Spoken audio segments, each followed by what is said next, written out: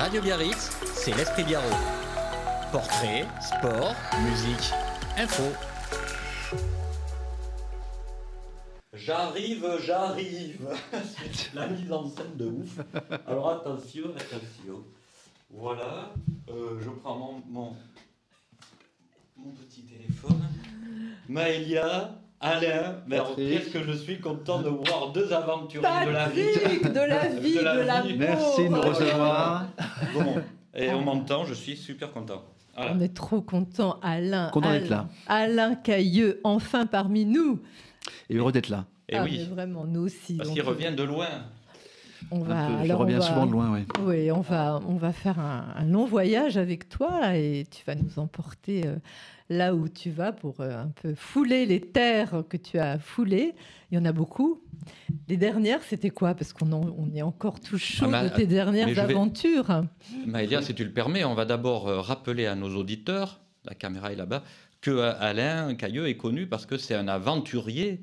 Voilà. Oui. C'est un explorateur minimaliste. C'est comme ça qu'il se définit sur euh, son Instagram. Que, hein, voilà, j'invite tout le monde à suivre l'Instagram Mhm. Ça, on va le dire, hein, bien sûr. d'Alain. Donc, euh, aventurier, Minimaliste, ça veut dire quoi d'ailleurs? Ça veut Minimaliste, ça veut dire que je pars avec le moins de choses possible et ça me force à trouver des réponses sur le chemin. Ça fait, ça fait plus de dix ans que je n'ai plus grand-chose de matériel et que j'essaye de m'exposer un peu et de, de m'ouvrir au monde avec le moins de choses possible, pour le coup avec le cœur beaucoup plus ouvert. J'ai appris dans mon expérience que moins on a de choses, plus on est ouvert. Et puis c'est la même chose pour la partie physique, c'est-à-dire je suis souvent euh, pieds nus en tongs, je suis souvent dans des modes de transport qui sont euh, locaux et je dors souvent euh, à la Belle Étoile, en camping ou chez des habitants. Le but étant de réellement m'ouvrir au, au monde réel plutôt qu'à un monde superficiel basé sur le, le matériel. Voilà. Voilà. C'est ça le minimalisme de mes, de mes expéditions. Oui. Donc tu vas nous raconter un petit peu ton parcours quand même, euh, voilà, que ce chemin qui t'a amené aujourd'hui à, à être cet aventurier de la vie. Mhm. Et euh, je sais pas si tu veux commencer d'ailleurs. En fait, tu es, tu es né ici, tu es né. Alors, je suis né à Paris, mes fam- ma famille est d'origine euh, de Saint-Pierre-des-Rubes, donc euh, à Bayonne. Mhm. Euh, et je suis à, bon, je suis à Bidart depuis plus de 40, 45 ans. Toute ma jeunesse, j'ai passé ici sur les plages de, de Bidart. Et voilà, donc je suis un, un ingénieur de formation, d'accord, qui, a- qui ouais. a eu une carrière euh, assez classique d'ingénieur. Euh, pendant, pendant plus de 15 ans, j'ai été ingénieur dans l'automobile. Et puis il y a 10 ans, j'ai fait un vrai virage dans, dans ma vie. Je suis, euh, je suis devenu progressivement explorateur, aventurier. J'ai commencé à, à partir découvrir le monde avec un petit sac à dos et j'y ai pris goût. Donc D'accord. là- Mais qu'est-ce qui s'est passé? Parce qu'on imagine toujours qu'il y a eu un voilà Non, quelque non, chose. par- Oui, comment on devient aventurier Oui, voilà. Comment on devient? J'ai toujours eu un caractère un petit peu, euh, un petit peu euh, hyperactif, Oui. très sportif, euh, toujours porté vers l'étranger. Même dans ma vie d'ingénieur, j'ai toujours travaillé à l'étranger. J'ai travaillé euh, trois ans en Slovaquie, j'ai travaillé cinq ans en Espagne, j'ai Ah oui. travaillé, euh, j'en suis à quatre ou cinq ans au Brésil, Mhm. d'accord? Et au Brésil, j'ai rencontré Soumaya, qui est, qui est dans la salle aujourd'hui. Soumaya, on la verra tout à l'heure. Il t'a fallu euh, 5 ans pour euh, rencontrer Soumaïa. Il m'a fallu même, euh, il m'a fallu, ouais, cinq bonnes années pour rentrer Soumaya. J'ai, euh, et depuis dix ans, on est, on est ensemble. Donc Soumaya. Soumaya m'a connu dans, dans mon virage le plus intense, qui est ce Ah passage. oui, d'accord, je savais. le pas. moment où j'ai vraiment tourné euh, la page de cette vie de- d'ingénieur Ouais. Et où j'ai eu, euh, bah, j'ai eu la chance progressivement de pouvoir me libérer du temps. Et j'y ai pris un, pris goût euh, incroyable. J'ai commencé à partir en Asie du Sud-Est tout seul, petit sac à dos. Je, je revenais, je me disais mais qu'est-ce que j'ai bien fait?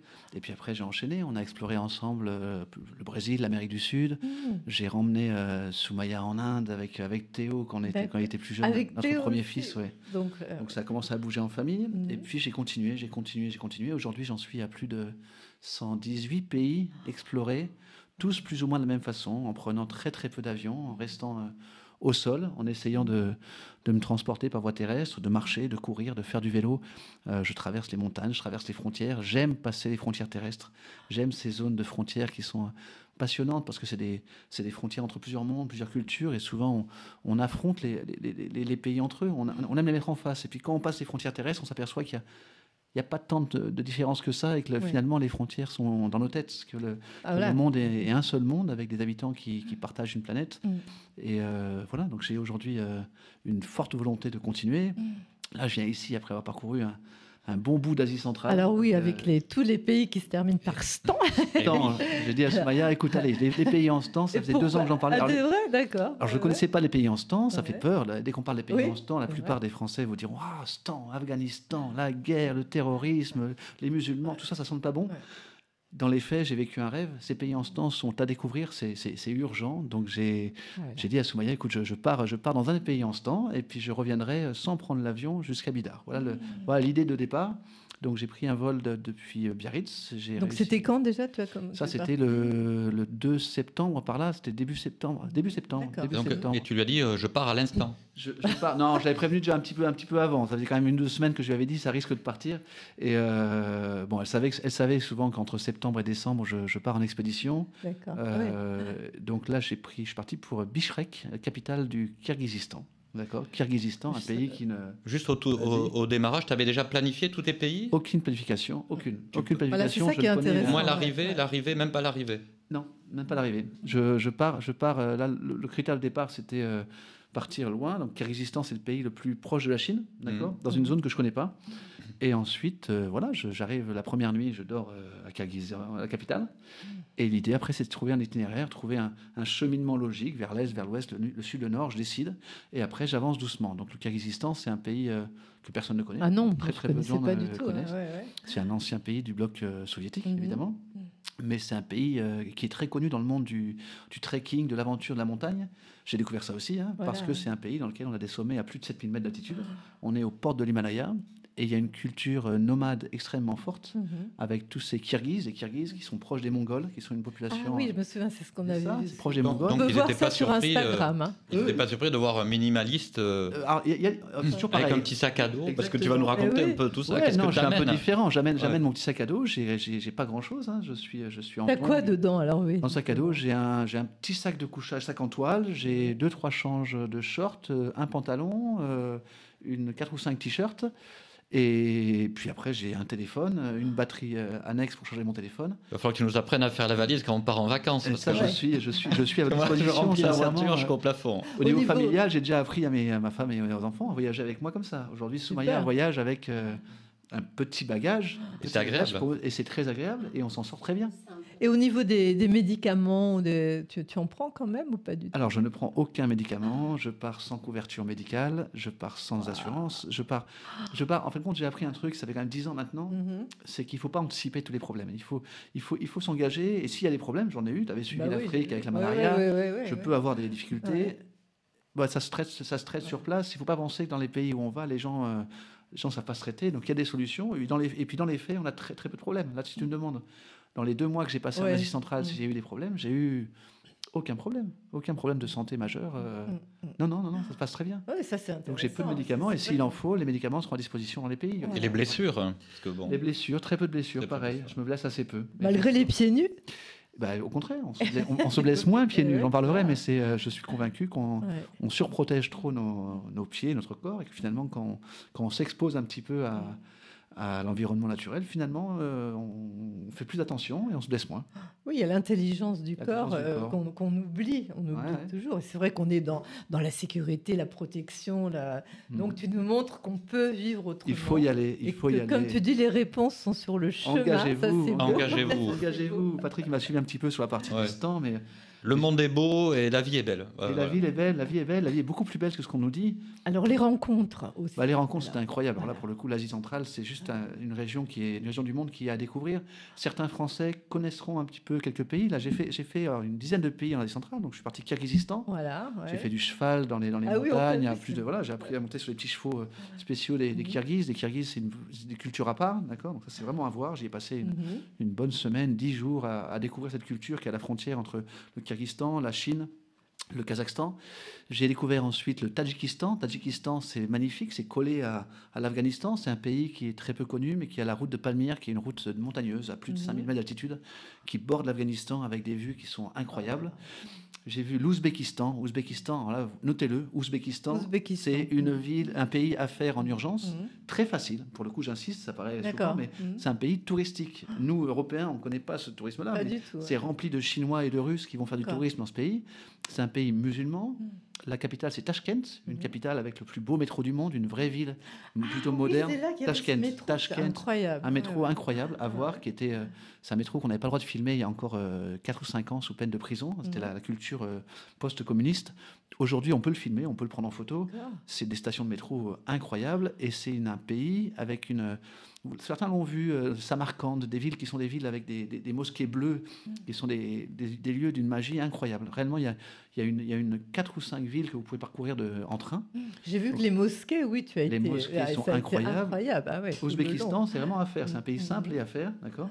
Ouais. Ouzbékistan, je suis remonté au Kazakhstan. Kazakhstan, alors là, c'est un très grand pays, d'accord, très grand pays, capitale Almaty.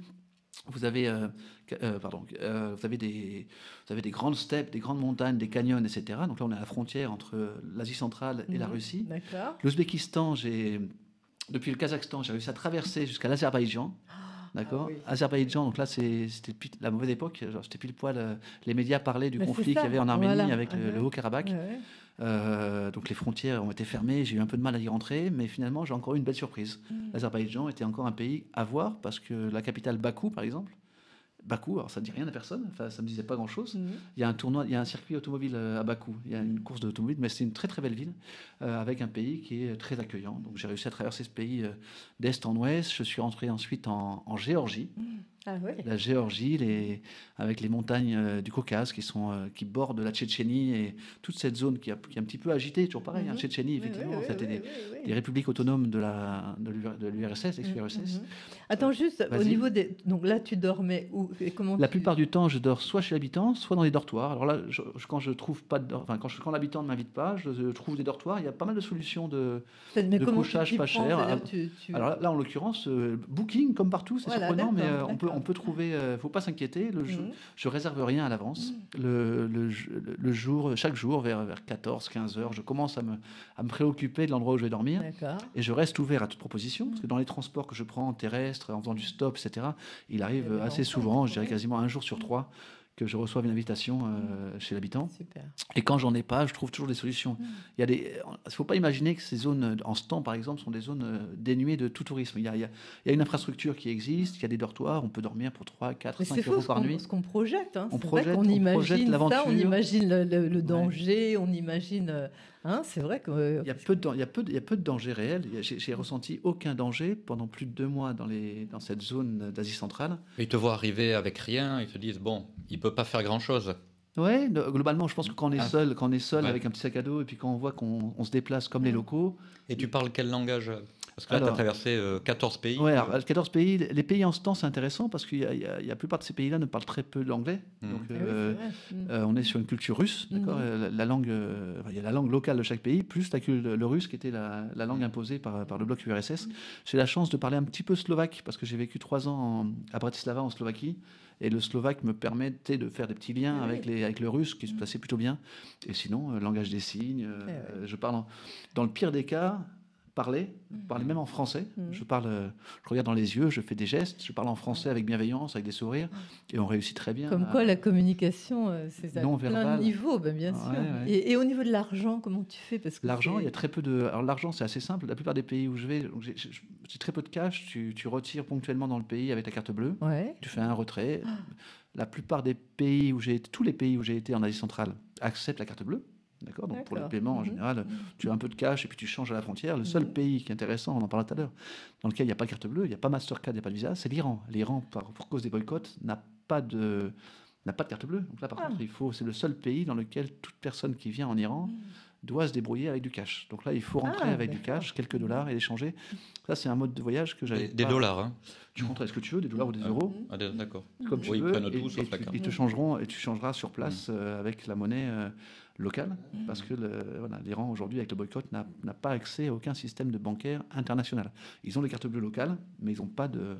Donc c'est c'est- ça change un petit peu le mode de voyage. Mais euh, voilà, non, ça fonctionne relativement bien. Donc l'Iran, il y a eu des aventures un peu. Bah, L'Iran, c'était un pays euh, qui m'attirait depuis très très longtemps. L'Iran, c'est un pays qui, qui, alors, qui fait peur à beaucoup de monde parce que la, on entend parler euh, dans les médias euh, de manière extrêmement négative. Oui, surtout Euh, maintenant avec Surtout le en ce moment, avec le conflit palestinien, c'était Mhm, mhm. le, le conflit palestinien-israélien avait prenait, prenait feu à l'époque, et je suis quand même rentré en Iran. Mhm. Je suis rentré en Iran, le visa je l'ai obtenu en Arménie, à Yerevan, capitale de l'Arménie. J'ai été à l'ambassade d'Iran et en moins de en moins d'un quart d'heure, j'ai eu mon visa pour rentrer en Iran. Donc j'ai pu rentrer par voie terrestre par le nord de l'Iran, par Mhm. Tabriz. Tabriz, une ville historique remplie d'histoire. Je suis rentré en Iran mort de trouille. Ça m'arrive rarement, Mais oui, mais voilà. évidemment, je suis, Ouais, j'étais mort de trouille parce que j'ai beau, j'ai beau dire que je suis décalé par rapport à la, aux médias et à ce qu'on nous dit. Je suis quand même sensible. Je touche, euh, je touche aussi, euh, je ressens cette peur. Bien sûr. Et puis euh, j'ai appris sur place. Je suis resté en tout plus de trois semaines en Iran. J'ai exploré l'Iran du, du nord au sud complètement. J'ai été donc de Tabriz, le- la frontière Mhm. avec l'Arménie, jusqu'à jusqu'à l'extrême sud de l'Iran, à la frontière avec Dubaï. Et j'ai eu la chance d'être invité quasiment une nuit sur deux chez l'habitant. Oui, ça J'ai avait l'air. découvert- On a vu, c'est un vrai, avec peuple- des c'est gens un adorables. hors du commun. Mais alors au niveau des femmes, parce que c'est vrai qu'il y a eu quand même, Mhm. euh, voilà, il y a quand même une révolution des femmes, il y a quand même eu des choses. euh, Ouais. Alors c'est un, c'est un vrai sujet. C'est un sujet. Ouais. Quand, quand quand on vient en Iran, tout le monde me parle de la révolution des Ouais, femmes, J'ai vu effectivement, j'ai observé à Téhéran, j'ai Mhm. vu que cette, cette tendance des femmes, effectivement, la loi, la loi est écrite. La loi sur le port du voile, par exemple, c'est une loi qui a été passée il y a- depuis l'arrivée des, des mollahs au pouvoir. Mhm. Alors effectivement, je, je suis pour, je suis formellement contre, d'accord? C'est quelque chose qui choque de voir le, le port du voile obligatoire euh, partout dans les rues, dans le Mhm. métro, etc. Mais euh, ce que j'ai vu en Iran, j'ai pas vu d'agressivité particulière entre les hommes et les femmes. J'ai pas vu Voilà. une intolérance Mhm. suprême. J'ai vu des femmes porter le voile, d'autres ne le portaient pas. Mhm. D'accord Certaines femmes la- le portent à moitié. C'est un des sujets euh, clés de, quand on va en Iran, mais en réalité, j'ai appris aussi à, à ne pas focaliser là-dessus. C'est-à-dire à, à- à D'accord. rencontrer les gens comme ils viennent. J'avais déjà fait avant, avant l'Iran, j'avais déjà fait euh, certaines républiques islamiques. Républiques islamiques, c'est-à-dire c'est des c'est des, des- des États qui appliquent la loi islamique. J'avais été en Mauritanie, je ne sais pas si vous en Eh Afrique. oui, oui, oui, c'est un vrai. État ouais. qui applique une loi islamique encore plus euh, rigide que ce qui est fait en Iran. Et j'ai appris à, à- à- alors, à éviter de faire de la politique, éviter de faire de la- des jugements. Je ne vais, je vais pas en Iran ni pour faire de la politique, ni pour faire de la, Mhm. ni pour faire de, de- pour- voilà, je vais pour observer, pour rencontrer. Mhm. Donc j'ai rencontré beaucoup de monde, des hommes principalement, quelques femmes. J'ai vu des choses surprenantes. J'ai pas tout filmé parce qu'à l'époque, on se méfie quand même de ce qu'on filme. Mais ce que j'ai vu en Iran est différent de ce qu'on vous montre. Notamment la, la partie de la liberté qu'il y a en Iran. Il y a plein de zones de liberté. D'accord, il y a beaucoup de zones. J'ai fait du stand-up paddle dans des, dans des, dans le sud de l'Iran avec des hommes et des femmes qui étaient en maillot de bain en train de faire du stand-up paddle iranien. Et oui, ça, on le voit Ça, on pas. ne le verra c'est pas vrai, et vous le verrez c'est pas parce c'est qu'effectivement, il y a une police des réseaux Mhm, sociaux qui mhm, surveille le, le respect du port du, du voile, par exemple. Mhm. Donc ça, ça fait partie des choses que j'ai fait attention à ne, je me suis un tout petit peu censuré pour ne pas pour ne pas montrer tout ça et pour ne pas mettre mal à l'aise des gens qui, Oui. qui sont un petit peu en écart avec les respects de la, la loi locale. Mais en tout cas, ce que j'ai vu moi en Iran, c'est un des pays les plus safe, safe. J'ai bien dit Ah, safe, ouais. c'est-à-dire que j'ai- Ouais, ouais. il n'y a aucun danger en Iran. Si Mhm. vous n'y allez pas pour faire euh, ni de la politique Voilà. ni de l'espionnage. Il n'y a aucun problème. Je- alors, vous verrez les, par Internet, les ministères de, divers et variés euh, d'affaires étrangères vous diront n'allez pas en Iran, etc. Moi, je ne dis, je dis pas ça. J'insiste là-dessus. Mon expérience de trois semaines, c'est euh, n'allez pas faire de l'espionnage ou de la politique en Iran. Voilà. À part ça, sincèrement, ce pays est un pays à découvrir. Je pense que plus les portes vers ces pays seront ouvertes. Plus le monde va se- plutôt se pacifier. D'accord Mhm.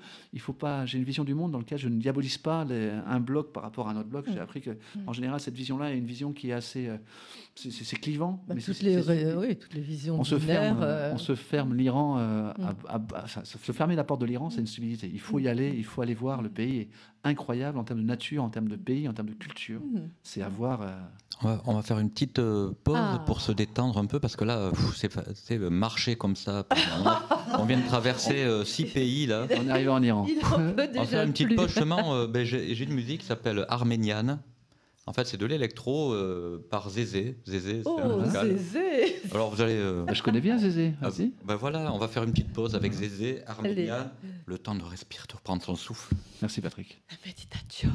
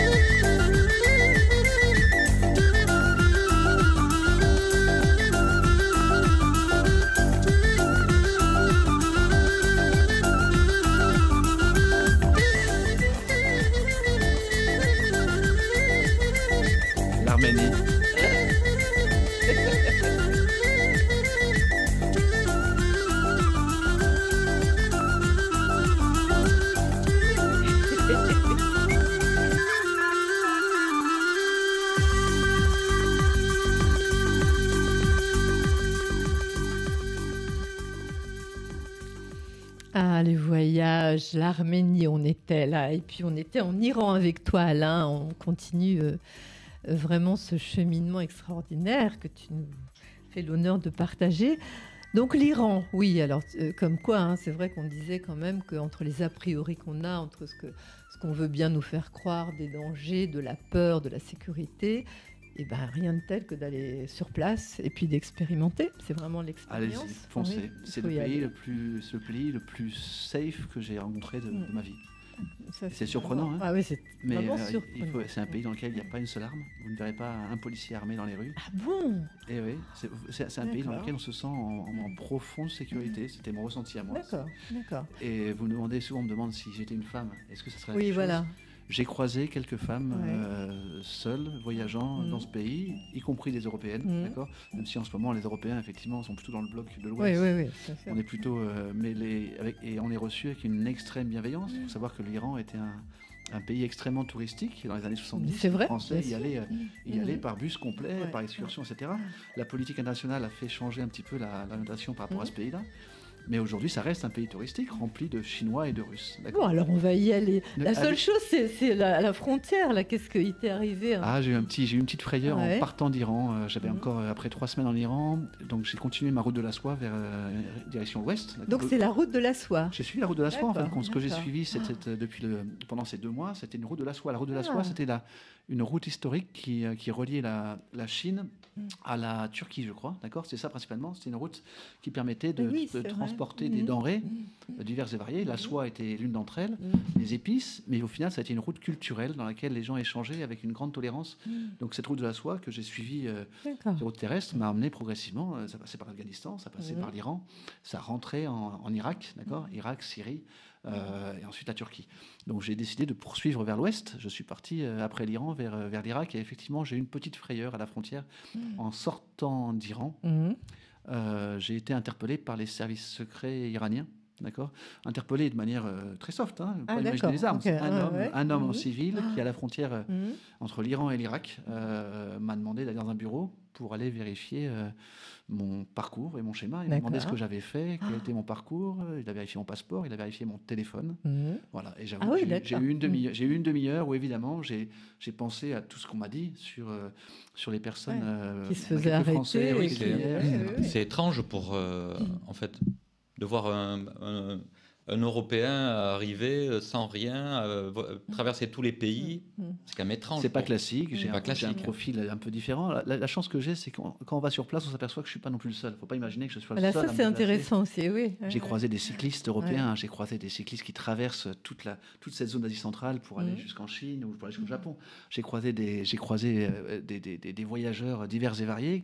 L'Iran aujourd'hui n'est pas complètement fermé, les visas sont accessibles et les gens qui sont dedans se font pas tous mettre en prison, loin de là. Sûr, loin de là, d'accord? Mais effectivement, j'ai senti, que j'ai senti que ce policier iranien recherchait clairement si j'étais un, un impliqué dans des mouvements politiques ou d'espionnage. Voilà. Mhm. Je pense qu'il a conclu au bout d'une demi-heure que je n'étais euh, ni un espion ni impliqué en politique. Mhm.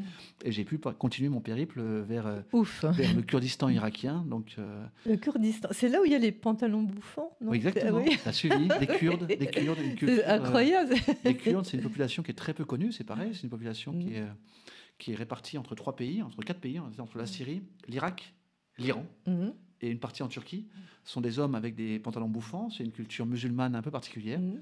Euh, je crois qu'ils font partie de la communauté chiite, euh, mais ils sont euh, écoutez, des gens passionnants, hyper accueillants. Pour le coup, j'ai découvert cette région d'Irak, je l'ai traversée d'est en ouest, Mhm. progressivement, en 4 ou 5 jours, pour rejoindre ensuite la Turquie. Je ne suis pas rentré en Syrie, mais j'ai poursuivi mon, mon parcours terrestre vers, vers la Turquie, où j'ai eu la chance de rejoindre Soumaya, qui m'a qui m'a rejoint Oui. avec Théo à Istanbul pour la fin du périple. Soumaya, alors dis-nous Bonjour. Soumaya, comment tu as vécu ça Bonjour, toi euh, tout le monde qui écoute la radio Biarritz. bon, euh, on partit avec, bon, j'ai parti avec, avec Théo Mhm. pour rejoindre Alain, c'est ça Ouais. à Turquie, à Istanbul. Et c'est magique, j'ai adoré. On passait dix jours ensemble à Istanbul et à notre pays aussi. On fait, je pense que presque dix, dix- dix pays. pays. Ah oui. Et, et j'ai adoré Théo aussi, même Alain avec nous. euh, Ça passait très très bien. Tu es partie aussi en minimaliste avec Ah, Théo? complètement. Non, non, non. Avec un sac à dos, Théo aussi, pour je ne sais pas combien de temps, parce qu'on partit d'ici. Et je ne sais pas du tout. Hein. Alain m'a proposé, tu vas euh, voyager avec les avions, tu pars avec avion, Mhm. mais pour rentrer à Bidar, c'est pour les trains. Et oui. Et j'ai dit, OK, ça va, Elle a dit oui. Elle a dit oui. Elle m'a dit ok. on y Ah. va. Et il se passait très bien tout. Le voyage, c'est parfait. Théo aimé. Théo, il est incroyable comme il s'adapte aussi. Ah non, Euh, il que- est- Quelle vision du monde il va avoir. oui, il est très adaptable, Ah oui. il adore tout, il fait beaucoup de questions maintenant, il est très très curieux. Et même moi, pour découvrir tout avec Alain, parce qu'avec Alain, tout est très très facile. Il est le meilleur guide de le monde pour nous, parce Eh oui. qu'on ne fait rien. Euh, on, on y va, il dit, on y va, on va faire ça, ça, ça, on va changer de pays demain. Oh là là, quel- On va prendre des trains, on va dormir euh, avec les trains et on va apprendre notre euh, euh, chose et, et ça va. Et ça va. Voilà, Je suis ça. très, très ouverte oui, aussi. C'est l'état d'esprit, l'état d'esprit aussi. hein, Soumaya est très adaptable. Complètement. Oui. Non, non, Très non. adaptable. Je suis bien différente Toi, d'Alain. Je suis une femme euh, normale. Mais alors justement, parle-nous un tout petit peu, parce que c'est vrai qu'il part quand même, quand il part comme ça, pour toi, comment tu le vis? Ça, ça fait partie de votre façon d'être ensemble? Est-ce que des fois c'est difficile? Comment tu Non, c'est pas facile, bien sûr. Mhm. Je suis une femme comme notre. Notre Qu'est-ce qui, qu'est-ce qui est le plus compliqué pour toi en fait? Bon, j'habite maintenant à France. C'est Eh oui. pas mon pays. J'adore la France. Mhm. J'adore les Français. Ils sont adorables avec moi. Je suis très contente d'y habiter ici. Mais je reste toute seule avec mon fils, Voilà. qui a 6 ans. Mhm. Et qui fait beaucoup d'activités, qui a une vie pleine de choses. J'accompagne lui toute seule, Mhm. Et oui. euh, sans mon mari.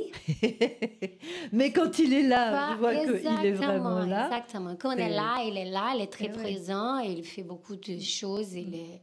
C'est intéressant hein, finalement, comme aussi au niveau des couples, parce oui. que voilà, bon, c'est un engagement d'une façon de vivre que, euh, que tu as choisi, et à laquelle tu finalement tu as adhéré plus ou moins. J'ai accepté. accepté. Accepté, accepté, elle a accepté, elle accepte aussi de m'accompagner souvent. Enfin, Oui, mon, aussi. mon rêve, mon, voilà, rêve, notre, enfin, mon rêve est toujours pareil, de partir en famille, de partir, Mm. d'emmener Soumaya, Théo, mes enfants. C'est toujours euh, mon rêve profond. Euh, Si vous me demandez la, la partie de- du voyage que j'ai Oui, alors, dans les ouais. pays en ce temps, j'ai adoré mon- ma partie tout seul, Ouais. mais je me suis épanoui profondément sur la partie avec Soumaya et Théo. Voilà, on a, on a ouais. relié euh, Istanbul à Bidar. Ah oui, 100% alors c'est par voie incroyable. terrestre. En train, deux j'ai semaines. vu. On a refait l'Orient Express. Théo a découvert des pays. Soumaya, elle a découvert 4-5 pays qu'elle ne connaissait pas. On a fait Sofia en Bulgarie, Ah oui. Bucarest en Roumanie. Après, on était à Hongrie. Budapest en Hongrie. Uh-huh. Après, On passait pour les trains à Allemagne, à Slovaquie, Slovaquie, euh, à Autriche. Autriche. Ah oui. ouais, J'ai passé ouais, avec ouais. les trains magiques. Euh, après, la Suisse. Mais ça s'arrêtait. et C'est un train qui s'arrête pas ou ça s'arrête on a fait plus Voilà, rien, On a fait sur 4-5 jours. Le dernier train était assez rapide. Et après la Suisse, on a relié Paris et Paris-Vidar. Toi, Soumaya est devenue, euh, en deux semaines dans, dans cette région du monde, une experte, l'experte brésilienne de l'Europe. La plupart des Brésiliens Eh oui, ne savent c'est pas vrai. situer un pays en Parce que Europe. euh, quand tu fais, quand tu voyages, c'est plus facile de garder en ta, en ta, en ta tête. Bien sûr. Et maintenant, je suis la capitale de beaucoup de pays que j'ai, c'est la première fois que j'ai passé. Pour moi, c'est incroyable. C'est vrai que c'est- une zone, tous ces pays en ce temps, on n'en parle jamais. hein. Même, à à, fait, même à ouais, ouais. l'école, euh, Ouais, je suis affolé parce que quand tu vois tous ces pays, Mm. tu dis mais c'est incroyable, tous ces petits pays extraordinaires, des cultures extraordinaires. Donc la philosophie, ou en tout cas le, le- le- ce que tu as appris de tout ça finalement après dans, dans ces pays-là, mais aussi dans tous les euh, combien? 118 pays? 118 pays. Aujourd'hui, tu peux dire quoi finalement à transmettre? Le monde est beau, le monde est voilà. beau, le monde est beau, le monde est, le monde est fondamentalement beau et bon. Il faut, euh, il faut pas se cantonner à ce qu'on vous dit. Il faut aller sur place, tous les pays, même le pays qui vous fera, qui, on vous a entendu parler le plus, le plus négativement, il y aura des belles surprises, il y a des merveilles naturelles, la nature est partout. On trouve des gens qui sont toujours euh, adorables, qui sont toujours ouverts. Cette zone des pays en ce temps est un exemple euh, incroyable pour Mm. moi. Mm. Oh, je me suis rempli d'âme, d'accord les, Ah, et, et pourtant, les cultures sont complètement différentes. hein. On Mm. parle de pays musulmans principalement, avec, avec un monde qui est très loin du nôtre, mais dans lequel finalement j'ai été accueilli euh, à chaque fois à bras ouverts. Et euh, donc engagez-vous, allez voir, allez voir, c'est valable. À côté de chez vous, c'est valable. On est, on est plein de préjugés, mais tant qu'on va pas voir, ce qu'on pense du pays est erroné. C'est-à-dire qu'on on se trompe. Voilà. On se trompe. Moi, le premier, même, Mm. je- j'estime que je commence à être un peu, un peu, un peu blindé sur euh, l'information qu'on me passe, mais et on est quand même influencé. Mm. Et aujourd'hui, je redis, il faut aller sur place, il faut s'engager, essayer d'y aller en dehors des voies touristiques par vous-même, avec un petit sac à dos. Vous verrez qu'il y a Mhm. plein de solutions différentes. Faites le premier pas. Le plus difficile, c'est toujours la même chose. C'est le premier pas. Voilà. C'est le moment où on part de chez soi, le moment où, le moment où on, on s'arrache, on, on fait le premier pas en dehors de chez soi en disant je, je pars quelque part. Et après, mon expérience, c'est que j'ai jamais regretté mes départs, même si le, le moment du départ est toujours un moment euh, compliqué, parce qu'on s'arrache, on s'arrache à plein de choses, on estime qu'on on a plein d'engagements, on peut pas rater tel rendez-vous. Et au final, on, on peut, on peut le faire. Et On tu peut sais combien de temps tu vas partir à l'avance Non, je sais jamais. Je sais jamais. Donc il faut Là, être vraiment libre euh, de Faut- dire bon, et je ouais. pars. Ouais. Parce que L'idéal là, d'avoir- 14 pays, combien l'idéal- de temps Là, j'ai mis deux mois. J'ai mis deux mois, deux mois et demi. Mm. ouais, L'idéal, l'idéal, l'idéal, c'est pas grand chose. Mais l'idéal, c'est effectivement cette notion du temps est intéressante. Mm. Si euh, j'ai aussi, quand j'étais ingénieur, j'avais des contraintes de temps, mais mes, mes séjours à l'étranger étaient des séjours euh, sur 10 jours ou 7 jours. Tu voyages différemment. Là, tu voyages, tu orientes ton, tout ton, ton rythme, tu risques de réserver, etc. La chance de libérer du temps, ça change le mode de voyage. C'est-à-dire qu'il faut être ouvert à, à l'inconnu, il faut être ouvert à l'imprévu, et ça fait que tu, tu peux te faire inviter, tu peux rester deux, trois nuits au même endroit, tu peux changer ton parcours, euh, au lieu d'aller à l'est, aller vers l'ouest. Enfin, on est sur, euh, voilà, j'avais annoncé à Soumaya du, je lui avais dit, je reviens dans trois mois. Avant Noël, je suis revenu. Bon, je suis revenu, je suis revenu, je suis revenu. Sympa. euh. Il est arrivé avant. Il est resté, il dit qu'il est resté deux mois et demi. euh, Deux mois et demi, ouais. Non, tu fais un mois et J'ai demi. fait un mois et demi, je crois Ah que j'étais ouais. plus rapide. Avec moi, deux mois. Ah oui. J'annonce toujours quelque chose de. J'arrive toujours avant l'heure. J'ai appris, Ouais. alors c'est une technique. euh, J'annonce toujours à Soumaya le pire. le Ah pire. oui, oui. Alors ça, là où je te rejoins, euh, Ouais. et nos auditeurs ils vont, ils vont comprendre, c'est quand tu pars en vacances, tu as tout planifié. Tu arrives, Mhm. tu as, de loin d'ici, tu as Mhm. loué ton hôtel, tu as tout planifié. Tu arrives sur place et tu dis Mais oh là là, mais si j'avais su, j'aurais. Parce qu'en étant sur place, on découvre des choses, des endroits qui sont plus sympas Mm, ou mm. plus, euh, plus authentiques, etc. Mais c'est vrai. Mm. Donc à la limite, mais on n'ose pas quand même. Tu vois, moi, Mm. j'ose pas partir sans avoir déjà réservé un hôtel. Ou... euh, Tu peux, tu peux faire un Voilà. compromis, la réserver la première nuit. La Ça première nuit, voilà. Oui, voilà, la première Une nuit. bonne solution, c'est ça. Pour se rassurer, pour rassurer Mm, tes proches, tu mm. réserves une- un, point de chute pour la première nuit. Mm. ouais. Et après, tu verras, ça après, se passe bien. Soumaya s'est habituée. Soumaya, ça fait, ça fait maintenant 10 ans qu'elle me connaît. Ça fait 10 ans qu'elle est- qu'elle sait que quand elle est avec moi, elle, ne s- elle se réveille le matin sans Mm. savoir où on, on sera le soir. Et c'est quelque chose, c'est un changement de mode de, de vie qui est. Ça, c'est quelque chose, la plupart, je pense que 99% des gens ne, ne le comprennent pas. Le fait de se Mm. lever le matin Mhm. sans savoir où on dormira le soir. Et on est quelques-uns. Et on, on- on les trouve, les nomades sur la route, les- Ouais. les, les cyclistes. Oui, c'est ce que j'allais dire. Il y, a tout un, il y a quelques-uns. tout un peuple comme un ça. de Ah oui, oui, faut oui. pas penser que je, sois- alors, je suis aventurier, Ouais. explorateur, un peu extrémiste, un peu. J'en ai quand même euh, commence à bourlinguer beaucoup. Et manger Oui. aussi, attends, dormir et manger. Et manger. Les Ouais. repas. Mais le, alors, le Le repas, repas. le repas, pour le coup, c'est jamais un problème. Les gens mangent partout. Bah oui, Ah oui. toujours. euh, Ouais. Alors j'avoue qu'il y a quand même des pays où j'ai passé quelques journées à manger que du pain ou manger que voilà. je- Mm. Que des graines. que des Ouais. graines. Non, je mange, je mange. Effectivement, Mm, quand je suis dans mm. l'aventure, dans la nature, quand je pars dans les steppes, j'apprends à manger local. Je me mets avec les et je mange comme eux. Mais effectivement, et on peut, on peut survivre quelques jours. Alors c'est pareil. Alors, je suis un peu extrémiste encore. En famille, c'est plus difficile. Ouais, ouais, ouais. Et quand je suis tout seul, j'avoue que je peux passer 3-4 jours à, à manger euh, du pain. De l'herbe. Du pain, du pain, du pain, du pain. Là, ça, nour- ça Ouais, nourrit, ouais, ouais, l'énergie ouais. est là. On dort. euh, Et on se nourrit autrement, On finalement. se nourrit autrement et Ouais. c'est pas très grave. On ne meurt pas. Non, de- mais je veux dire autrement même parce que Exactement, parce qu'on vit, exactement. parce que c'est Non, vrai je suis que- devenu extrêmement, euh, je suis devenu extrêmement minimaliste. On en parlait tout à l'heure, mais c'est c'est ne pas être associé à le, le confort pour moi est devenu secondaire. Le confort pour moi c'est juste euh, pouvoir dormir dans un coin et, et avoir un peu d'eau et, et réussir à, à avoir le ventre plein. C'est un, c'est un luxe. C'est un luxe. Le reste est un est un détail. Donc tu as aiguisé un peu un instinct, un instinct de survie, hein, on peut dire ça, euh, qui est, Ouais, euh, ouais, ouais. sans être extrémiste, mais un instinct de survie euh, dans un monde euh, qui n'est pas hostile. C'est ça. Voilà. C'est ça. Globalement, je, je sais, je sais que j'ai un parles- optimisme naturel voilà. qui fait que Voilà. je sais que ça va bien se passer. Et je me promène toujours dans mon sac à dos. Tu me demandes ce que j'ai. J'ai toujours euh, un petit sac de cacahuètes et euh, Mhm. parfois un petit peu à boire et, et à manger au cas où que je garde euh, en réserve. Mais j'ai jamais, eu- j'ai jamais eu, Parce que- j'ai jamais eu faim. Parce que moi, euh, j'ai, euh, j'étais un peu suivi quand tu as traversé l'Afrique aussi, une partie Oui, de la- l'Afrique. ouais, Parce que moi, j'ai j'ai été un peu en Afrique, mais j'avais pas ta confiance. hein. Moi, j'étais accompagné, euh, il y avait Ouais. chauffeur, Ah, des gars armés, euh, tout ça. Mhm. T'as fait quel pays? Euh, le Congo. Le Congo, que j'ai pas encore fait. Tu vois. Le, le Congo, euh, Brazzaville et Mhm. euh, Kinshasa. Mais euh, attends, euh, c'était pas du tout à pied. euh, Ouais, ouais. costard, tout Mhm. ça, ça n'a rien à voir. Mais, Ouais, mais, euh, mais euh, je me sentais pas tranquille quand même. ouais. Je pense que le mode, le mode de voyage que tu as te met dans ce schéma de, de, de la sécurité que tu vas ressentir. Quand tu vas en costume cravate et que tu sais que tu Oui, rentres en tant qu'Européen avec, avec, les, Mm. avec les chauffeurs, la sécurité, etc. Quand tu vas en mode petit sac à dos, euh, tu, te, tu te pointes comme ça, habillé Ouais. comme ça, tu, feras, tu seras un blanc qui traverse, euh, tu seras un blanc qui traverse l'Afrique. Alors je te dis pas que tu passeras incognito hein, en Afrique. Non, mais avec le euh, recul, avec je, comprends blanche. ce que tu dis. Parce Mhm. que C'est vrai qu'on attire, euh, on attire euh, ce c'est comme sais, tout dans la vie, de toute façon. hein. Mm. comme J'ai pas eu un garde du corps, euh, j'ai pas eu un garde du corps, même en Irak. T'imagines en Irak, je- j'ai Mm. une bonne tête, de- j'ai une bonne tête de blanc qui traverse l'Irak. Moi, j'ai Mm. pas senti d'insécurité majeure. Donc c'est des. T'as jamais eu peur? J'ai jamais eu peur, non, non, non, j'ai Mm. jamais eu peur. J'ai- Tous ces, ces deux mois et demi, encore une fois, j'ai jamais eu peur. Au contraire, j'ai eu, j'ai eu un sentiment de plénitude euh, profond. Mhm. Je reparle de l'Iran Mm. parce que c'est même l'Arménie. L'Arménie, je suis passé en pleine guerre entre euh, l'Azerbaïdjan Ah oui, et, et l'Arménie, enfin dans le ouais, Haut-Karabakh. Là, je suis passé. Et oui, en- l'Arménie, Mm. ce, ce pauvre peuple, on a, je salue mes amis d'Agour Arménie. Bah, tu connais Ouais. l'association Ah, je ne sais pas. Il y a une association Agour Arménie ici qui ont, Ouais. qui ont réussi à mettre la stèle euh, À Biarritz à Biarritz, au Mm. monument aux morts. Il y a une stèle Ah euh, d'accord. En, en mémoire de, Du génocide arménien génocide. Mm. D'accord. La stèle est très jolie.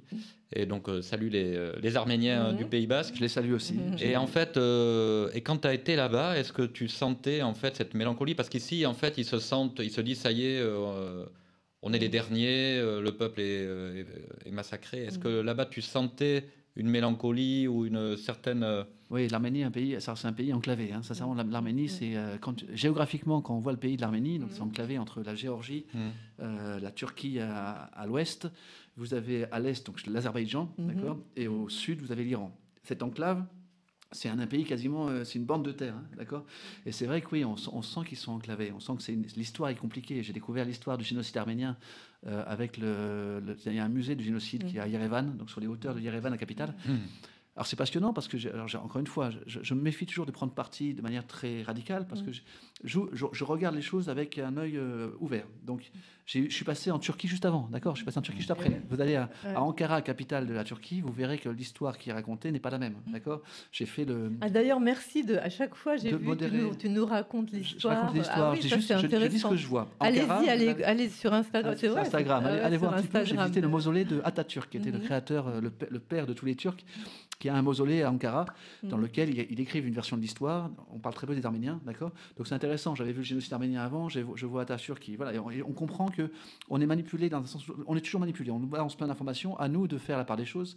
Évidemment qu'il s'est passé des choses euh, violentes et qu'il y a eu Mhm. beaucoup de gens qui ont été tués sur la sur le génocide arménien, d'accord? Évidemment que c'est pas si binaire que ça. que- mais en tout cas, la, la- la- la réponse sur ta question de, des. Arméniens aujourd'hui, l'Arménien est un, j'ai trouvé un peuple heureux, plutôt heureux, euh, même s'ils étaient préoccupés préoccupés quand je suis passé, parce que la- le Haut-Karabakh venait d'être envahi par, le, par les- l'armée d'Azerbaïdjan, donc il a été vidé par la plupart des populations arméniennes qui sont revenues se, se répartir dans, le- dans l'Arménie. Donc moi je suis passé pile poil à ce moment-là, j'ai, je suis passé à- j'ai couru dans les Mais montagnes à, un, ki- à un kilomètre du, du Haut-Karabakh, euh, et j'ai rencontré, des- j'ai fait des rencontres magnifiques avec les Arméniens euh, de cette région-là, cette région du sud de, de l'Arménie. Euh, Je suis, je suis personnellement inquiet sur les suites des événements dans cette région du monde, Mm. parce que quand tu regardes la carte, la carte, regardez la carte, vous verrez que Mm.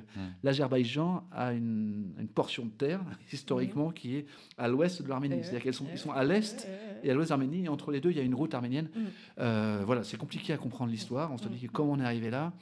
C'est une région du monde où il y a beaucoup de tensions, euh, même il y a des frustrations. L'Arménie et les Turcs, vous verrez qu'il y a notamment un, un des sommets qui surplombe Yerevan, qui est une super montagne qui Ah appartient oui, effectivement vu, physiquement ouais. à la Turquie. J'ai découvert qu'il y avait des rancœurs parce que Mm. historiquement, c'était le- c'était l'endroit où l'Arche de Noé, euh, c'était euh, dans, dans la culture arménienne. Ah C'était oui. échoué. Mm. Et ce sommet qui est le mont Yarafat, j'ai oublié son nom. Mm. Euh, et aujourd'hui, dans le territoire euh, turc, et pour monter au sommet, il faut passer en Turquie. Les Arméniens ont, ont des frustrations légitimes par rapport à tout ça. Euh, j'ai pas la solution. Je sais juste que, en tout cas, ce que j'ai rencontré, que ce soit du côté turc, arménien, azerbaïdjan, euh, Iran, ce sont des gens plutôt bienveillants. Des gens bienveillants et Très alors des montagnes. Parce qu'en en plus, alors tu escalades partout, tu vas chercher J'aime les montagnes. tu vas chercher la nature. un sommet par-ci, par Ouais, Dès que je peux, Ah je ouais. monte un lever, un, Ah un lever de soleil à sommet d'à côté, je monte toutes les montagnes que je peux. Je suis un passionné de montagne, passionné de trail en montagne. je Mm. Oui, en as fait montagne, je beaucoup, cours, oui, oui, pieds oui. nus, en Pieds nus, euh, euh, c'est en tongs, enfin c'est incroyable. Mais j'aime ça, ouais, Ah j'aime ouais. ça. ouais. Il y en a partout. Et là, pour le coup, j'étais servi. Dans cette région Ah bah d'Asie centrale, il y a beaucoup de montagnes. Beaucoup de montagnes. Donc, Qu'est-ce qui, avait- qu'est-ce qui, oui, alors Oui, oui. voilà, non, Bah, parce que le- le- qui on en a te tellement de choses. Voilà, On a- c'est ce que j'allais te demander. Voilà. S'il y avait un, un pays ou un souvenir vraiment qui t'a marqué, euh, que t'aimes, voilà, qui, qui est au-dessus Mm. des autres, ça serait quoi? Ce serait lequel? Alors, en termes de nature, clairement, c'est le Kyrgyzstan. Le Kyrgyzstan est un pays euh, naturellement dans lequel j'ai passé euh, une semaine quasi euh, dans les yourtes, Mm. dans les yourtes dans les montagnes. J'étais euh, hébergé chez, la- chez les locaux, à me déplacer à cheval. Ça a été, ça a été une expérience Mm. hors du commun. Hors du commun, pour, pour ceux qui aiment la nature, le Kyrgyzstan est clairement le pays urgent à explorer. Et pour ceux qui aiment une culture différente, Mm. euh, je le redis, l'Iran, la Ouais. Perse, la culture perse est un monde, est un monde à part. C'est une, c'est une, c'est une, c'est un pays magnifique. Et, et donc c'est voilà, ça serait mes deux, mes deux gros coups de cœur, Kyrgyzstan pour la partie naturelle Mhm. et l'Iran pour la partie culturelle, euh, Mm. paysage. euh, ouais, ouais. Au niveau, il y a de la musique. Au niveau des musiques, c'est quoi? La musique partout. L'Iran Voilà. Alors l'Iran, pareil. Le préjugé de base, c'est dire que l'Iran, il n'y a pas de musique. L'Iran, il y a de la musique partout. C'est un des pays dans lesquels vous verrez de la musique partout. Ah, D'accord? On joue partout. Mhm. Euh, le lien avec les instruments de musique, même à Téhéran, capitale, Ouais, qu'on pense, ouais. qu'on pense le, le cœur du mal. Mhm. Il y a des, une rue avec une trentaine de boutiques d'instruments, d'accord, instruments à cordes et à vent. Euh, la culture perse Mm. est remplie de musique. Ils jouent Ah, vois, partout, d'accord Ils jouent partout. Ça, Ouais. ça, voilà. Euh, je, là, je parle pas de politique. Je parle, de ce que j'ai- vu. Ce que j'ai vu, c'est de la musique Mm. partout. Le reste des pays euh, ont aussi de la musique, à chaque fois un peu différente. La Turquie, évidemment, a, Mm. Ouais. a des chants. euh, Mhm. particulier. Et euh, non, non, mais, mais l'Iran est pour moi la culture, la- la- la- le pays le plus musical que j'ai vu sur, sur cette traversée des- de la route de la soie. ouais. Et au niveau de la religion, donc tu sens qu'ils sont, ils sont très religieux, parce que tu. Alors la religion est partout dans ces pays-là. On est sur. alors ce qui est intéressant, c'est toujours pareil. Je vais, je vais dire des choses qui vont surprendre. Mhm. Ce sont les pays musulmans, majorité Ouais, musulmane. ouais, ouais. L'Iran est le seul pays de la région qui est effectivement un, un État qui applique la charia, d'accord Mhm, c'est mhm, c'est la mhm. version supérieure de, de, de la partie musulmane. Mais il ne faut pas penser qu'en Iran, il n'y a pas d'autres cultures. En Iran, par exemple, je suis passé dans, un, dans une ville dans laquelle il y avait une quinzaine de synagogues. Ah, Tu vois Des d'accord. synagogues et Ouais. des communautés juives qui fonctionnent et qui vivent encore en, en Iran. Donc là, je dis juste ça pour Ah, ouvrir un non, peu mais c'est intéressant. L'Iran, les Iraniens ne sont pas contre les Juifs. Ça n'existe. c'est- faux de dire ça, d'accord? Ils sont contre tout ce qu'on veut sur la partie Mhm. Israël et la création de l'État Israël, mais sur la partie religieuse, il n'y a pas que des, il y a pas que des musulmans. Il y a plusieurs types de musulmans en Iran. Je rappelle qu'il y a plusieurs voies. Il y a quatre ou cinq euh, types de musulmans Oui, différents. ouais, le sud ouais. et le nord de Mhm. l'Iran ont des versions différentes. Ces juifs que j'ai vus, c'était surprenant. Tu vois, c'était surprenant. Ils vivent encore. Alors j'avoue que c'est- compliqué. Il y en a de moins en moins, etc. Mais il y a des populations arméniennes qui habitaient en Iran. Il y a, une des, il y a des églises orthodoxes en Iran, d'accord, qui sont très bien conservées. Mhm. Donc il y a, il y a- voilà, il faut, il faut, Ah, il il faut faut juste voir, sur ouvrons, place, ouvrons voilà, nos choses, esprits. euh, mais oui, oui. Et globalement, j'ai vu, j'ai- ce que j'ai vu sur la partie euh, religieuse, j'ai vu une grande tolérance, d'accord. Tu me demandais euh, si vous, quand on me demande quelle est ma religion, à chaque fois, je dis que je suis de formation euh, catholique à la base. Mhm, mhm. Ça ne choque personne, il n'y a aucun problème. Euh, et, et voilà, et à côté de ça, les- le monde musulman est intéressant en termes d'ouverture des mosquées, même.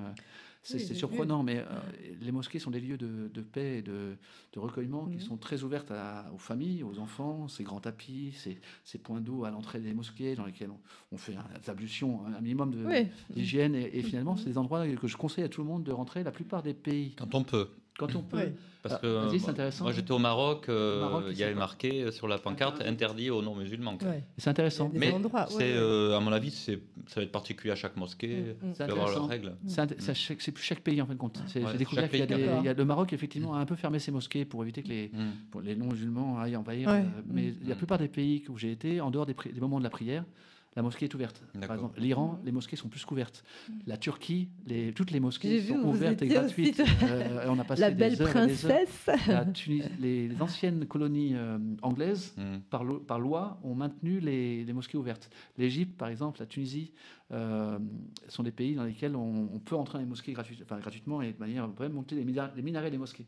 En Égypte, tu pourrais aller dans n'importe quelle mosquée parce que les Anglais, quand ils, sont, quand ils étaient dans ces pays-là, ont décrété que les mosquées devaient être des lieux euh, des lieux ouverts à, à- à toute population. Donc ça a fonctionné. Et le Maroc, tu as raison, les anciennes, euh, les anciennes colonies françaises n'ont pas forcément cette ouverture de, de- du monde. Bah, très bien. Donc il nous reste quelques secondes. Alors attends, mais juste parce que c'est important de, de- Ah, ouvrons nos esprits. Alors on ouvre une heure de plus. Non, non, non, mais ouvrons nos esprits parce que surtout maintenant, avec Euh, non, ce qui c'est se clair. passe, c'est vrai que on a tendance à être. Mais euh, en tout cas, mais, euh, merci, Maëlia, merci, mais il ouais. faudra peut-être que sur un sujet très Mm, précis, il mm, faudra que mm. tu reviennes, Oui, oui. Qu'on Ouais. parle de parce que que c'est passionnant, Ouais. tout est passionnant, dans tout ce que tu as vécu. Alors maintenant les projets. Voilà, y en a-t-il les des projets. projets, Projet, la suite, la suite, La suite. La suite, mon cœur, mon cœur, euh, mon cœur est toujours à l'aventure. Je cherche aujourd'hui à poursuivre l'aventure. J'ai dit que j'étais à, à 118 pays explorés de manière minimaliste. Je cherche évidemment aujourd'hui à partir euh, à l'aventure sur la suite. Il m'en reste euh, une euh, 80. m'en Il y a combien de il pays y a finalement 200 Il y a sur Terre? 194 pays euh, à l'ONU, Mm. plus 4 ou 5 qui ne sont pas tout à fait reconnus. On peut compter qu'il y a 199 ou 200 pays D'accord. Si on, voilà, si on veut avoir un compte. Pour moi, ce compte-là, il n'est pas fondamental, mais c'est quand, même quand même un indicateur. C'est quand, même- c'est quand même structurant. Donc je me dis, Ouais. j'ai 45 ans aujourd'hui. Euh, 46. Oui, merci. Oh. Connais pas bien mon âge. Né en 77, 46 ans. Le temps passe et, euh, et moi- mon envie, mon cœur aujourd'hui, c'est de, de partager, de, de- de terminer cette histoire d'exploration des pays Ouais. euh, avant mes 55 ans. J'aimerais avoir exploré les 200 pays de la planète. Donc je vais rentrer en mode de recherche de financement, de sponsors, d'aide. Ah, alors voilà, ça, ça, c'est bah, L'idée, c'est ça. ouais. c'est- c'est- il faut un peu d'argent. Même si je suis minimaliste, il y a quand même un, Bien un petit peu d'argent. Oui, parce me- que combien ça te coûte par exemple Là, là, le- là, par exemple, deux mois en Asie du Sud-Est, en Asie euh, centrale, m'ont coûté 2000 euros. D'accord C'est du, 1000, Non, c'est du pas- 1000, euh, 1000, 1500 euros par mois maximum de, dépenses pour me nourrir, me loger, me déplacer en mode Mm. local. Voilà ce que, ce que me coûte ce genre de choses, plus un billet d'avion que j'ai pris pour aller à. Au début de 200 euros. Globalement, voilà, ça, ça dépend des pays. Je ne dis pas que c'est Oui, oui, je c'est- comprends. l'Asie centrale n'était pas très très cher. Et au niveau des sponsors, ça peut être qui? Alors comment, Bah, comment écoute, ça, tu peut vois être, ça ça peut être des marques sportives Voilà, ont, ouais. ont une expérience sportive, des marques culturelles qui sont ouvertes au partage de- d'une vision différente et plutôt euh, éclairée de, Donc du hein, monde. les Donc, avis, n'hésitez au- pas, voilà, à n'hésitez pas. Si vous voulez une bonne, Ouais, commence à ouais. avoir une bonne exposition euh, médiatique, Bien euh, sûr. soit en local sur la côte basque Mhm. Au niveau national. Euh, et je suis, euh, voilà, je suis ouvert à toute euh, proposition d'assistance, sachant que mon, mon cœur, mon, mon cœur, ma, ma volonté est de, de poursuivre l'aventure, de ne pas m'arrêter là. Maintenant que je commence à avoir une, un optimisme incroyable sur le, sur le monde, Ah j'ai ah envie ouais. de continuer à le vivre Mm. et à vous le partager. Et à le je- partager. Je, sens que je réveille quand même oui. des, des curiosités. euh, Énormément, énormément. un peu, voilà. Ah oui, Et, surtout, tu, euh, tu nous fais prendre conscience, tu fais partie des acteurs actuels qui nous font prendre conscience que le monde euh, n'est pas forcément ce que l'on nous décrit euh, dans, dans le coin de notre, de écran, en fait. Ouais, ouais. Et de se bouger, en Ça fait. élargit le cœur. Ça te va bien? Ouais, ah, ça élargit le cœur. On va, on va euh, malheureusement, moi je serais resté encore trois heures euh, avec toi, euh, tranquille. Ah, mais on, plaisir, va, mais on, c'est- on reprendra en tout cas. Merci vraiment Alain. Merci, Merci, Maëlia. Merci, Patrick m'avoir tu nous accueilli fais sur du le plateau bien. de Radio Biarritz. C'est un Tu nous c'est réchauffes le cœur. Donc, branchez-vous sur l'Instagram. Réseaux sur- sociaux, sur Instagram, tous les réseaux sociaux. Alain Cailleux, C-A-Y-E-U-X. Voilà. Et Tu vas, puis, tu vas euh, ouvrir une cagnotte ou pas pour ton projet? Je vais réouvrir une cagnotte. euh, ouais, ouais, la cagnotte là, je, pense que je vais devoir rouvrir une cagnotte. Je vais plutôt structurer des vrais projets euh, de traversée de pays, toujours pareil, par voie terrestre ou maritime. ou Tu as une idée de prochain ou pas? Alors le prochain, il y en a un qui m'attire beaucoup en famille. Euh, là, celui-là, il va être un peu. euh, on voudrait faire toute la partie Caraïbes. Les, Cara- Ah, les Caraïbes, oui. on connaît. euh, alors je connais quelques pays. Je connais Saint-Martin, la Ouais. Guadeloupe, la Martinique, qui ne sont pas des pays. Mhm. Il y a une palanquée de pays qui est entre le Venezuela et euh, Cuba, en gros. Oui. Qui là, c'est un enchaînement familial idéal. Ah les ouais, c'est les parfait, tongs ça. vont être utiles. Voilà, les tongs seront utiles et pour le coup, on n'est pas sur une aventure, euh, on est sur une aventure Ouais. familiale qui ira très bien. Donc, euh, Super Soumaya, tu solution vas être trouve pour faire heureux. les Caraïbes en famille. Voilà, c'est ça le- un des objectifs pour euh, début 2024, à voir si on trouve une solution euh, financière. Mais effectivement, c'est des pays qui sont euh, attirants et surprenants aussi. Super. Bon. Bon, et je, je pense que Maïlia, si tu es d'accord et si Alain est d'accord, il faudra que tu reviennes nous parler ben, attends, un pays en particulier, par exemple un pays où on a des questions, l'Iran, des Voilà. choses qui nous, Mhm. des pays qui nous. Et puis nous voilà, qu'est-ce que ça nous fait Comment ça peut nous transformer aussi Et puis de nous ouvrir l'esprit parce qu'on en a vraiment besoin. Voilà. Et le cœur, et le cœur, et le cœur. Très bien, je retourne euh, à la régie. Merci beaucoup. Patrick. Merci Soumaya aussi. Merci tu veux dire un dernier petit mot, sympa. J'ai Soumaya adoré rester avec dire- vous. Nous aussi, Bon, merci. nous aussi. Viens dire bonjour à la caméra. Viens dire Allez, bonjour. viens, dire bonjour. viens, Viens, viens, viens. viens. Allez, Alors, viens, viens, viens, viens, Soumaya. bonjour. Faut On va- voir on va quand même vous présenter Soumaya. Soumaya, Allez, viens. une minute. Alors, Viens dire bonjour. Viens dire bonjour. Tiens, On va- faire le- on va- se mettre euh, ben, là où il y a la caméra. Là. On, va, on va regarder la Regarde. caméra tous. voilà. Ma- Ça va nous attitude. Attends, attends, Ma- Ah, attends. tu Il y a l'as, la- ah ouais. on tourne- on Claude, est tu toujours aussi, Claude filmé. Viens aussi, viens, viens, viens, Claude, viens, Claude. On a Ah oui. Claude aussi C'est avec notre nous. public, euh, notre fan. Claude. Alors là, Notre, franchement, notre euh, chanteur de Avec les ours blancs accrochés, Voilà. j'adore. On regarde la caméra là. Hop. Ah, maintenant c'est celle-là. Ah, elle est là. Ouh, là, On là, fait là, comme ça. là, Non, Claude, Non, là, là, là. là, Claude, Enlève ton- Claude à gauche. Claude, enlève Là, ton- ici, là. Là, Là. le, le point rouge. Tiens. Enlève ton bras. Enlève. Laisse-le. Voilà, merci. Allez, salut. Salut, merci beaucoup. Bonne journée, bon mardi. Attends, on Merci, fait- j'en fais quand même On une. prend une belle, ouais. Merci Patrick. Ah, on va, on va écoute. faire des séances. Vas-y, vas-y. Merde, Qu'est-ce que je fais moi? Ah voilà. Attends. Attends. Ah, j'arrive pas à Attends. appuyer. Attends, on va faire, on va faire, on va faire. je t'en- Voilà. C'est bon, Patrick, t'as coupé le off, le là Bon, bah super. Radio Biarritz, c'est l'esprit Biarro. Portrait, sport, musique, info.